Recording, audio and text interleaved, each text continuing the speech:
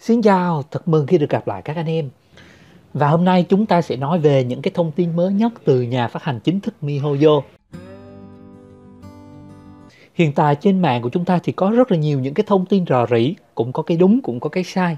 Bây giờ chúng ta sẽ cùng đi qua những cái thông tin chính thức mà đã được xác nhận bởi nhà phát triển, nhà phát hành MiHoYo nha các anh em. Đầu tiên thì ở trên Twitter là các anh em chúng ta đã có được là cái thông báo là chúng ta sẽ có một cái sự kiện mới vào ngày 27 tháng 11 nè các anh em. Thì cái nội dung của cái sự kiện này hiện tại là mọi người vẫn đang đoán già đoán non nhưng mà nó có một cái câu mà mình cảm thấy là có thể là nó sẽ trùng với là một cái sự kiện đang diễn ra ở bên Trung Quốc. Đó là cái câu là nhà thám hiểm hãy tập hợp, nhà thám hiểm hãy tập hợp, mọi chuyện đang bắt đầu. Và phần thưởng của chúng ta là có cả Mora, thánh dị vật, có cả nguyên thạch và rất rất nhiều những cái phần thưởng khác. Ok và Ok, và mình lục ở khắp các diễn đàn ở bên Trung Quốc thì chúng ta thấy có một cái sự kiện đang diễn ra mà cái lời mời chào nó tương đối là khá giống với là cái sự kiện mà nó chuẩn bị diễn ra của chúng ta. Là nó cũng có cái câu là mạo hiểm giả, tập hợp thì đại khái của cái sự kiện này là chúng ta khi mà trên cấp độ 15 thì chúng ta sẽ có một cái mã của chúng ta và chúng ta sẽ dùng cái mã đó để chúng ta mời những người chơi mà dưới cấp độ 7 khi người ta có thể điền cái mã đó thì chúng ta sẽ nhận được phần thưởng và một người chơi chỉ có thể mời tối đa được 10 người chơi khác mà thôi.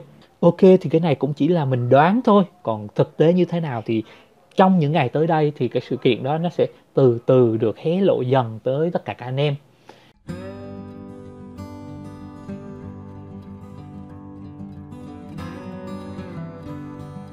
Tiếp theo thì chúng ta có cái thông tin từ cái buổi nói chuyện tọa đàm với lại cái nhà phát triển các anh em.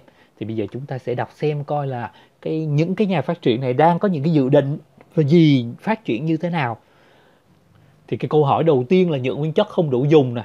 Rất khó để hoàn thành nhiệm vụ tuần và các hoạt động nhật ký hành trình thường ngày. Thì ở đây nhà phát triển trả lời chúng ta rằng là từ cái phiên bản 1.1 thì cái nhiệm vụ tuần và những cái nhật ký hành trình đó thì nó giảm xuống chỉ còn 1.200 điểm nhựa nguyên chất là chúng ta sẽ hoàn thành.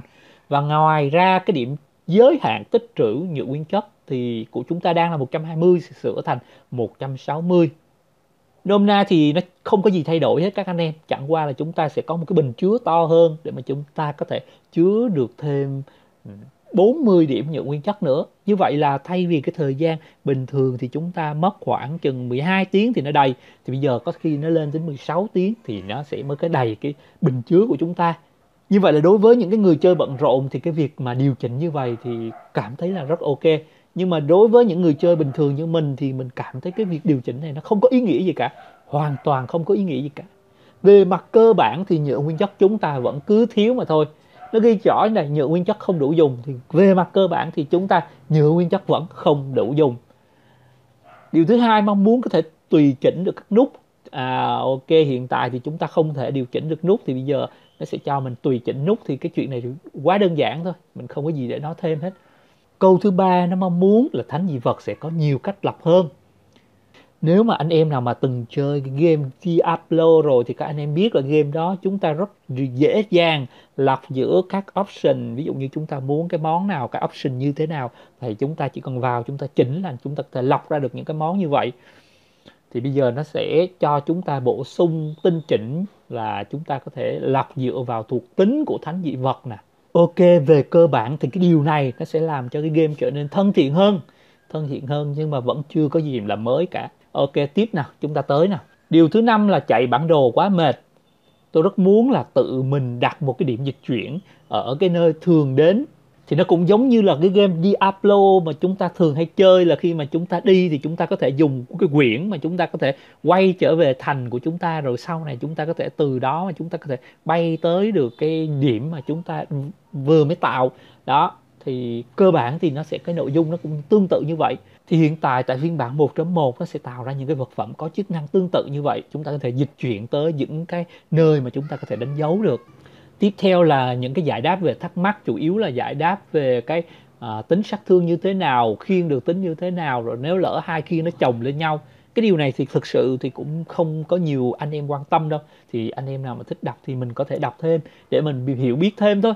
Ok, nhìn chung thì cuối cùng của cái buổi tọa đàm này mình đọc thì mình thấy không hề có một cái gì mới, không hề có một cái gì mà uh, tiết lộ về những cái thông tin mới, những cái phương hướng mới gì cho chúng ta biết cả mà chỉ là những cái điều chỉnh rất là nhỏ để mà cho game nó trở nên thân thiện và dễ chơi hơn mà thôi. Trong khi đó, Genshin Impact đã kiếm về hơn 60 triệu đô chỉ trong vòng một tuần ra mắt đầu tiên mà thôi. Hiện tại bây giờ các nhà phát triển của Genshin Impact đang bơi trong núi tiền và chúng ta, những người chơi sẵn sàng chi tiền, tiếp tục chi tiền chỉ để mong muốn có những cái thông tin mới. Tuy nhiên hiện tại thì vẫn là chưa có một cái gì mới dành cho chúng ta cả. Và bây giờ mình sẽ qua cái diễn đàn Trung Quốc và mình lục lọi, mình kiếm những cái thông tin chính thức từ nhà phát hành MiHoYo cho chúng ta để chúng ta biết được những cái phiên bản sắp tới nó sẽ dự kiến nó sẽ như thế nào.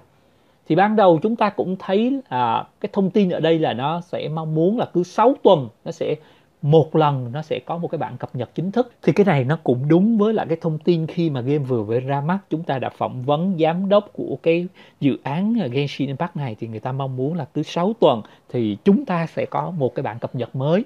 Và danh sách của cái bản cập nhật mới của chúng ta có ở đây là các anh em, là phiên bản 1.1 dự kiến sẽ được cập nhật vào ngày 11 tháng 11 đây là dự kiến nha các anh em. Dự kiến thì có nhiều khả năng nó sẽ bị thay đổi đi một tí. Thì trong phiên bản này cái sự kiện Unreturned Startup sẽ được mở. Ok mình cũng chưa rõ ràng cái sự kiện này là như thế nào. Tuy nhiên là tại cái sự kiện và ra mắt ngày 11 tháng 1 chúng ta sẽ có một cái sự kiện mới. Và tiếp theo là cái phiên bản 1.2 dự kiến sẽ được cập nhật vào ngày 23 tháng 12. Trong phiên bản này, khu vực Long G và các hoạt động phiên bản liên quan sẽ được mở. Thứ ba là phiên bản 1.3 dự kiến sẽ được cập nhật vào tháng 2 năm sau. Trong phiên bản này, có chuỗi hoạt động, lễ hội, đèn lồng trên biển sẽ được khởi động. Thì cái phiên bản thứ ba này nó vào năm mới và cái phiên bản thứ hai này nó sẽ vào Giáng sinh các anh em. Thì Giáng sinh chúng ta sẽ lên núi tuyết và chúng ta tham gia các hoạt động trên núi tuyết. Như vậy là tận đến ngày 11 tháng 11 thì chúng ta mới có một cái cập nhật lớn dành cho cái game Genshin Impact. Còn từ bây giờ đến lúc đó thì chúng ta phải chịu khó, chúng ta vẫn phải tiếp tục cày cuốc mà thôi các anh em. Thì game Genshin Impact thực sự là rất là hay rất là hấp dẫn có rất là nhiều nội dung có nhiều cái nội dung mà đến bây giờ mà các anh em chúng ta vẫn hàng trăm anh em vẫn còn đang tranh luận với nhau. Điển hình như là Mona chúng ta nên build bạo kích hay là Mona chúng ta nên build tinh thông nguyên tố và cái sát thương của Mona thì anh em nhìn thấy trên ở những cái diễn đàn Trung Quốc là nó gây ra 500 ngàn sát thương. Thì anh em hỏi tại sao 500 ngàn sát thương? Mà trong khi đó nó build là gần 400 tinh thông nguyên tố. Thì các anh em đều nói, ok, như vậy rõ ràng là tinh thông nguyên tố sẽ gây sát thương lớn chẳng hạn đi thì cái điều đó vẫn là đang tranh luận và một phe vẫn đang nói là nên biêu bạo kích một phe thì nên nói là đang nên biêu tinh thông nguyên tố. Mà thậm chí là có những người chơi còn rất là gay gắt về cái vấn đề này nữa. Mà không phải là ở, ở tại Việt Nam đâu các anh em mà trên diễn đàn thế giới và trong những cái người làm uh, streamer vẫn đang tranh luận rất là gắt về những cái vấn đề này thì để mà cho nói các anh em thấy là cách mà cái hướng build cũng như là những cái thông tin về cái Genshin Impact nó thực sự nó vẫn còn rất nhiều điều để chúng ta nghiên cứu và khám phá. Ok, như vậy là mình đã chia sẻ tới tất cả các anh em những cái thông tin mà chính thức đến từ nhà phát hành MiHoYo. Đây tất cả đều là thông tin chính thức và chắc chắn những cái điều đó sẽ xảy ra chứ không phải là những cái thông tin rò rỉ ngoài lề mà mình đã gửi tới anh em. Còn có những cái thông tin rò rỉ thì có cái nó sẽ đúng, có cái thì nó cũng chưa chắc là đã đúng đâu. Tuy nhiên thì bây giờ chúng ta sẽ chờ xem đến ngày 11 tháng 11 xem là nó sẽ có những cái thông tin nào giống với lại cái biên bản rò rỉ của chúng ta hay không. Bye bye tất cả các anh em và hẹn gặp lại tất cả các anh em ở những cái video sau.